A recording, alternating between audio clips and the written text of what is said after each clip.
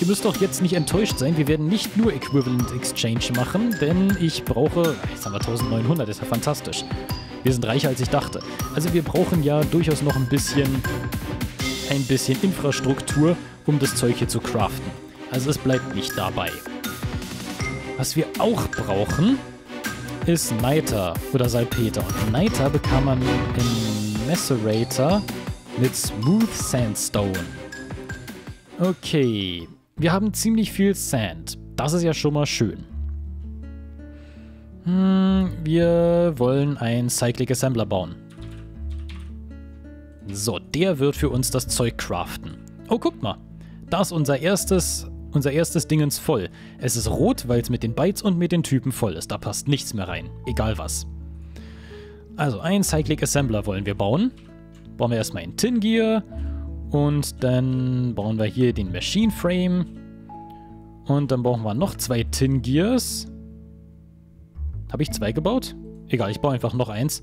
Dann brauchen wir zwei Copper Gears. Und eine Redstone Reception Coil. Und dann brauchen wir noch eine Chest. Gut, da ist der Cyclic Assembler. Und dann brauchen wir noch irgendetwas... Ein Blueprint, nee, ein Template. Schematic. Genau, wir brauchen noch ein Schematic. Ja, wir haben kein Papier. Wie kann das denn sein? Haben wir denn... Warum haben wir denn... Hallo? Wir haben keine Sugarcanes. Okay. Haben wir denn ein Buch? Da kann man die, die Seiten rausreißen. Auch nicht. Gut, äh, wir brauchen jedenfalls ein bisschen Lapis. Das ist kein Problem. Dann müssen wir mal kurz rausgehen gucken, ob hier irgendwo... Also, hier sind bestimmt irgendwo Sugarcanes. Das kann eigentlich nicht sein. Irgendwo müssen wir jetzt Sugarcanes herbekommen, um dieses Schematic zu bauen. Da können wir dann ein Rezept reinsetzen, das der Cyclic Assembler craften soll. Mir fällt aber gerade ein, wir brauchen zwei Cyclic Assembler. Also muss ich sowieso noch einen bauen. Komisch, warum ist denn hier kein, kein Sugarcane da? Okay, hoffen wir mal, dass es äh, für genug Papier reicht. Weil wir zumindest zwei Schematics bauen müssen. Wir haben aber sieben. Das genügt. Wir haben in den Hover-Modus hier. Und da haben wir genug, bin ich der Meinung. Genau. Ein Blank Schematic. Und äh, ja, dann brauchen wir natürlich noch eins. Habe ich jetzt schon wieder vergessen, dass wir noch eins brauchen. Also, wir werden einen Cyclic Assembler damit beauftragen, unsere 1200 Sandblocks, die wir haben, zu ähm, normalem Sandstone zusammen zu craften. Und dann bauen wir noch einen zweiten Cyclic Assembler direkt daneben, der die Sandstone in Smooth Sandstone craften wird. Und dann bauen wir daneben einen Pulverizer, der das zu Niter verarbeiten wird. Jetzt gucken wir erstmal nochmal, ob das im Niter die bessere Methode ist, als ja, sie am Pulverizer bekommt man mit 50%iger Chance Niter und man bekommt sogar wieder Sand heraus. Das heißt, man kann da einen Kreislauf laufen lassen. Wir brauchen 4 Sand, um einen Sandstone zu craften und wir bekommen 2 heraus. Das heißt, man kann es mindestens viermal durchlaufen lassen, wenn man genug hat. Das ist cool. Also mit 50%iger Chance. In der Sag Mill bekam man es nur mit 15%iger Chance. Also, ähm, der Pulverizer ist hier tatsächlich die bessere Wahl. Erstmal brauchen wir hier nochmal ein Lapis und bauen noch ein Schematic. Und dann müssen wir die Sache mit dem Cyclic Assembler nochmal machen. Also erstmal 1, 2, 3 Tin Gears. Ach Quatsch. Dann brauchen wir zwei Copper Gears und eine Redstone Reception Coil.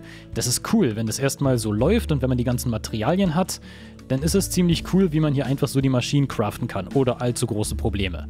So, da ist der zweite Cyclic Assembler. Und dann brauchen wir noch einen Pulverizer. Den haben wir tatsächlich noch gar nicht gebaut, weil wir hier ja auf Sagmill gegangen sind und dann sind wir auf, auf ähm, Immersive Engineering gegangen und von daher sind wir nie in den Genuss dieser normalen Thermal Expansion Maschinen gekommen, was eigentlich betrüblich ist, wenn man so will. Was ist denn jetzt los? Ich habe kein Cobblestone? Wie kann das denn sein? Okay. Machen wir uns mal vier Cobblestone. Verstehe ich gar nicht. Wie kann das sein, dass wir kein Cobblestone haben? Na gut. es soll wohl ein Rätsel bleiben. Und es kann von mir aus auch ein Rätsel bleiben. Auf jeden Fall hatten wir kein Cobblestone. So, da ist der Pisten. Und wir haben auch kein Flint, weil das wird immer automatisch exportiert. Das ist aber kein Problem. Äh, nee, das kann weg und das kann weg und da ist der Pulverizer. Okay. Dann brauchen wir nur noch einen Export-Bus. Den haben wir natürlich nicht mehr. Dann gucken wir mal, was brauchen wir dann? Ein ME Export Bus. Gucken wir mal. Äh, haben wir nicht. Formation Core. Äh, haben wir nicht. Ein Fluix Dust und ein Logic Processor. Okay, aber Fluix haben wir hier. So, machen wir mal nur einen. Das genügt. Äh, wir mal da. Nee. Da rein. Und dann brauchen wir ein bisschen Gold für den Logic Processor. Sehr gut. Der Logic Processor ist da. Und da ist der Formation Core. Und noch ein Pisten. Ich... Mann, ich bin verwirrt, warum wir keinen Cobblestone haben. Ich muss ja mit dem Cobblestone irgendwas angefangen haben. Denn wir hatten ja Cobblestone. Na natürlich, ich habe die Cobblestone immer zu Furnaces verkraftet und sie dann... Okay. Ich habe mich um Cobblestone selber gekümmert und scheinbar ging es beim letzten Mal Furnace Craften so perfekt auf, dass nichts mehr übrig geblieben ist. Ist ja nicht wahr. Wir haben ganz wenig Glass Cable. Das ist nicht gut. Äh, gucken wir mal hier. Oh, das ist aber schon recht ordentlich jetzt. 17. Ich würde am liebsten vom MI, nee, vom MI Controller aus runtergehen, damit wir hier keine Probleme mit Channels bekommen gucken wir mal, inwieweit das funktioniert, inwieweit ich genug Kabel habe. Aber das sieht fast so aus, als wäre da nicht so viel... Äh, doch, das ist recht viel. Äh, wir gucken einfach mal, wie weit wir kommen. So, hier gehen wir lang. Und dann da. Dann würde ich am liebsten hier direkt in der Ecke machen. Was ist das denn? Seit wann verbindet... Huh? Warum verbindet sich das? Nee, das, das, das macht man nicht hier. Mach mal den Conduit-Connector. Mach den mal disabled. Am Ende passiert da noch irgendwas. Was weiß ich, was da passieren könnte. Und dann geht irgendwas tierisch schief. Und ich wundere mich, was da los ist und verstehe die Welt nicht mehr. Also na, das wollen wir nicht. So. Das könnte reichen. Ja, das reicht. Wir müssen nur die Torch irgendwo anders platzieren. Nee, müssen wir nicht. Haha, weil nur die Ecke nicht beleuchtet ist. Das bedeutet, da können wir einfach unsere Maschine hinstellen. Also ein Cyclic Assembler, noch ein Cyclic Assembler und ein Pulverizer. So, der Cyclic Assembler bekommt jetzt erstmal den Export Buster oben rein und das letzte Fluix Cable. Wunderbar. Unglaublich, dass es genau so hingehauen hat. Kann ich ja gar nicht fassen. Okay, also der Cyclic Assembler hat oben seinen Input und er soll rechts seinen Output haben. Wir machen mal die anderen weg, damit er nicht irgendwie verwirrt wird. Der hat links seinen Input. So. Und rechts sein Output. Und der hat links sein Input. Und dann von mir aus rechts sein Output. So, aber auf Orange. Okay, gut. Jetzt müssen wir hier definieren. Jetzt brauchen wir erst einmal ein bisschen Sand. So. Das tun wir mal alles weg hier. Das brauchen wir nicht mehr. Okay.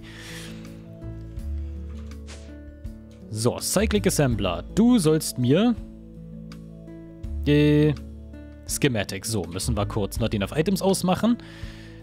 Da machen wir jetzt einmal... Nee, da brauchen wir ja nur vier. So, der sollte es jetzt erstmal so craften.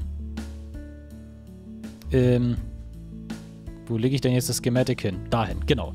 So, der soll das craften. Vier Sand zu einem Sandstone. Okay, und jetzt können wir dem ME Export Bus sagen, er soll Sand hierhin exportieren. Und dann müsste hier eigentlich Sand exportiert werden. Ah. Device offline. Oh, hier steht Device offline. Das ist nicht gut. Warum ist denn da Device offline? Irgendwas haut hier nicht hin.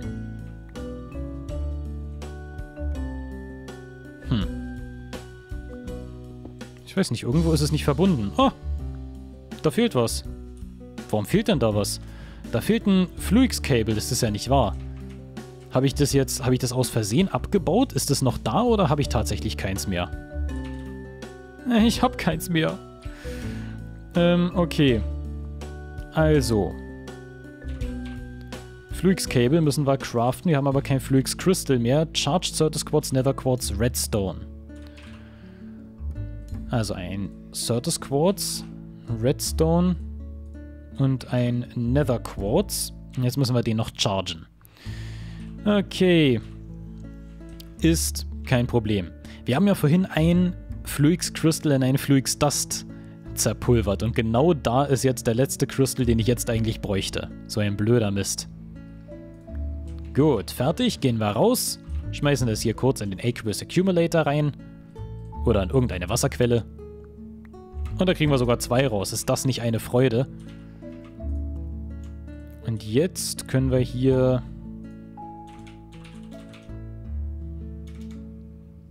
Na, was jetzt? Da. Da ist es. Das heißt nicht Fluix Cable, es heißt Cable Fluix. Äh, natürlich, warum auch nicht. So, jetzt haben wir hier jedenfalls vier Stück. Das ist mehr, als wir brauchen. Und jetzt können wir das hier verbinden. Und damit müsste jetzt eigentlich unser Sandbestand hier tierisch in die Knie gehen. Jawohl, sehen wir auch. Recht langsam, aber das äh, kommt, glaube ich, noch. So, was wir aber auch da unten brauchen, ist auf jeden Fall Strom.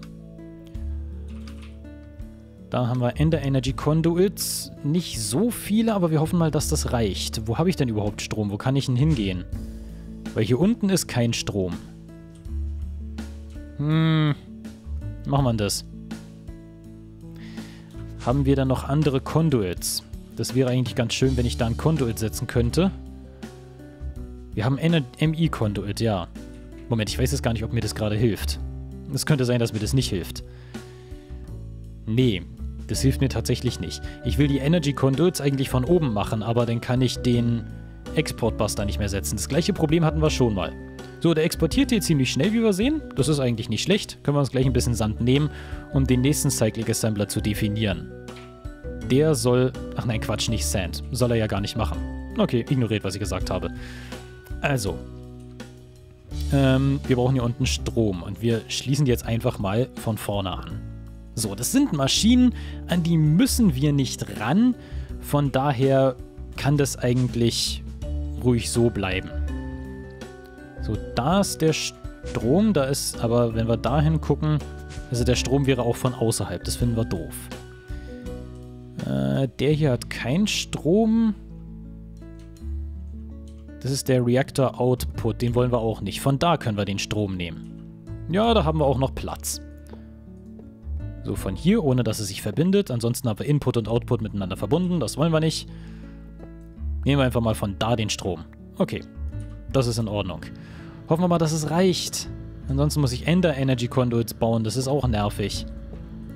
Warum habe ich hier eigentlich keine kabellose Stromversorgung? Sowas gibt's gar nicht. Schade, dass es sowas nicht gibt. Das ist eigentlich eine Schande. Also jetzt nicht ein Tesseract oder so, sondern eine eine kabellose Stromversorgung. Etwas, was meine Basis mit Strom versorgt und alle Maschinen, die in der Gegend sind, werden mit Strom versorgt. Na gut, wenn man jetzt das neue Minecraft spielt, das ist glaube ich Extra Utilities, da gibt es dann diese Grid Power und das ist tatsächlich Chunk-basiert mit dem Strom. Da gibt es keine Stromkabel mehr. Aber das ist ja nur was ganz anderes. Also, Ender Energy Conduit. Bam. Was brauchen wir da? Vibrant Alloy. Okay. Haben wir denn vielleicht ähm, Energetic Alloy? Nee, auch nicht. Also dann bitte. Äh, machen wir mal 9. So, Gold und Redstone 9 Stück. Da müssen wir jetzt wieder über Energetic Alloy gehen und es dann mit Ender Pearls infusionieren. Infusion kann man immer so schön sagen, aber irgendwie nicht auf Deutsch. Enderpearls brauche ich. Neun Stück. Haben wir genug EMC für, kein Problem. Gut. Also alles rein hier in den Alloy Smelter und ähm, den Alloy Smelter, habe ich gesagt. Und dann machen wir uns ein paar Ingots. So, jetzt müssten wir eigentlich schon genug haben für, nein, noch nicht ganz, für ein Rezept. Da haben wir genug. Ich glaube, das reicht sogar. Mit den 8, damit müsste ich eigentlich die Wand hier runterkommen. Gucken wir mal, ob das genügt. Ja, könnte wieder knapp werden, aber das reicht. Okay. Die haben jetzt Strom und da verarbeitet er wie wild. Und der exportiert den Sandstone hier rein. Gut. Dann können wir gleich den Sandstone hier nehmen, sagen, er soll ihn zu Smooth Sandstone craften und bam. Und jetzt zercraftet der das in Smooth Sandstone und exportiert das in den Pulverizer und da haben wir schon unser erstes Niter. Also ganz wunderbar, das funktioniert. Wir machen mal den Output nach oben. Und dann gehen wir hier mit unseren letzten MI-Conduit... Nee, Quatsch. Ja doch, machen wir so. Wir gehen dahin und dann bauen wir uns noch einen Import-Bus. So, den können wir uns vielleicht sogar sofort leisten. Müssen wir mal gucken. Ein Import-Bus. Ach nee, da braucht man natürlich den anderen Core. Aber wir haben einen. Wie geil ist das denn? Dann können wir das alles importieren und dann wird unser Niter ganz schnell mehr werden. Wir wollen aber nur, also wir wollen, dass nur Niter importiert wird. Also werden wir dem einen kleinen Filter geben. Äh... Dann machen wir das anders. Dann machen wir oben, machen wir gelb, dann kann er nur Niter importieren. So, der wird jetzt Niter importieren. Da sehen wir, wie es weniger wird. Also, ja, es wird weniger. Und der Sand hier, den wollen wir nach rechts outputten. So. Und den werden wir dann in den Cyclic Assembler wieder zurückgeben. Über ein paar Conduits. Und das machen wir am besten von vorne. Ähm. Ach nee, vorne kann man gar keinen Input machen. Ach guck mal, der bekommt keinen Sand mehr. Wir haben schon alles an Sand verarbeitet, glaube ich. Donnerwetter. Kann das sein? das gibt's ja gar nicht. Ähm. Ich müsste den Sand eigentlich in den wieder reingeben, aber das ist echt knifflig jetzt. Wir werden das mal mit dem Strom... Können wir das mit dem Strom überhaupt anders machen? Habe ich denn überhaupt noch ein Fluix-Cable übrig? Wenn ich noch ein Fluix-Cable übrig habe, dann geht das vielleicht auch. Ja, haben wir. Wir haben auch Item Conduits und wir haben MI Conduits und wir haben noch ein paar Ender Energy Conduits. Und dann gucken wir mal, ob wir noch mehr craften können. Jawohl. Gut, ich glaube, mit diesen Mitteln bekomme ich das anders aufgebaut da unten. Wir werden das mal nochmal versuchen.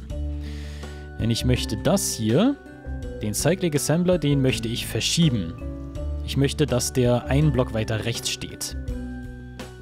So, und das machen wir natürlich mit allen Maschinen. Und dann habe ich nämlich mehr Platz. Genau. So, das machen wir erstmal alles weg hier. Und der erste Cyclic Assembler kommt dahin. Der nächste Cyclic Assembler kommt dahin und da der Pulverizer. So sind sogar genau die gleichen Stellen wie vorher. Okay. Dann wollen wir Warte mal, das Ender Energy Conduit nehmen wir und tun es dahin. So, was der hier rausgibt, wollen wir wieder reintun in den ersten Cyclic Assembler. Das heißt, wir machen einfach, wir machen einfach links auch einen Input. Genau. Und dann gehen wir hier rum. Wir machen da auch einen Input. Hier machen wir einen doppelten Strang. Und dann machen wir so. Und der kann seinen Output haben, vollautomatisch immer aktiv. Und da machen wir den Input. Und dann haben wir hier einen endlosen äh, Kreislauf. Und dann kommt das dahin und das dahin. Und dann haben wir den Import-Bus dort und den Export-Bus dort. Den Export-Bus kommt Sand. Den bekommst du wieder. Und einmal Sandstone craften. Da rein. Und nee, Sandstone bekommst du nicht. Sondern noch ein bisschen Sand. Und das ist alles Sandstone hier. Sandstone, Sandstone, äh, Sandstone und das Schematic. Okay, und du bekommst noch Smooth Sandstone. Verdammter Mist. Das ist jetzt natürlich ein Problem. Jetzt habe ich hier Smooth Sandstone im Inventar und werde ihn nicht los. Aber gut, egal. Was wir hier an Sand haben, geht zurück in diesen Cyclic Assembler. Wir sehen, es wird mehr, obwohl in unserem MI-System nichts mehr drin ist. Da bekommen wir jedes Mal zwei wieder raus, wenn der hier einen verarbeitet hat, also die Hälfte. Und dann kann es hier wieder durchgehen. Und damit werden wir ziemlich viel Leiter bekommen. Das äh, könnt ihr mir jetzt einfach mal glauben.